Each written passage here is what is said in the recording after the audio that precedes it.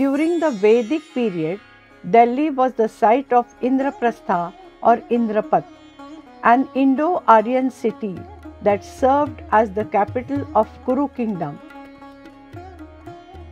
The first state level society in the Indian subcontinent. The city later served as the capital of various other kingdoms and empires, including the Hindu Tomaras and the Muslim Delhi Sultanate and Mughal Empire. During the partition of India, around 5 lakh Hindu and Sikh refugees, mainly from West Punjab, fled to Delhi. While around 3 lakh Muslim residents of the city migrated to Pakistan.